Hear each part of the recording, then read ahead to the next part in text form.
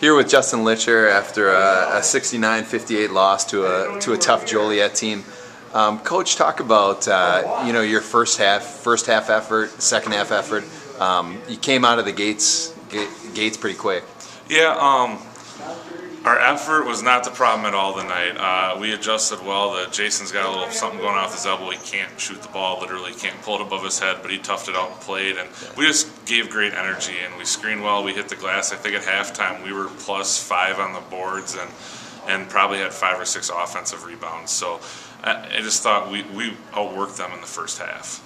So what and what was it down the stretch? I mean, you you guys you guys play played them tough. You know, here here's a here's a team that's leading the league, um, you know, and you're within you're within five at half, and they outscore you by six in the second half. What was it down the stretch? You know, every time, and this is, you know, it's tough because the boys played their played their hearts out. Is every time we had an opportunity to cut it to two or to really dig into it, we seemed to turn it over or, or miss a shot. And then I thought we, we might have got some heavy legs at the end there and uh, and Joliet adjusted some things, and we just we just couldn't knock down a shot at the end there. We got some really good looks, and you know it comes down to we were eight of 17 from the free throw line, and we missed probably 18 shots in the paint that were that were good looks. And this has got to be a positive going into you know playing Milwaukee on Saturday. You know you. You had two guys with 13 and 10, you had two double doubles, oh, and uh, you know a lot, lot of effort on the offensive boards. Um, you know, what do you take away from this game going into Milwaukee?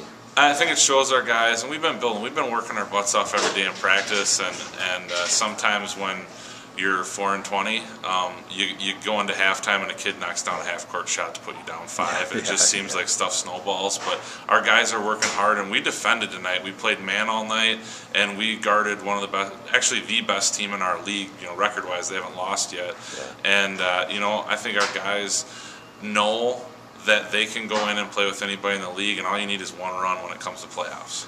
A tough game today, and uh, good luck on Saturday. Thanks.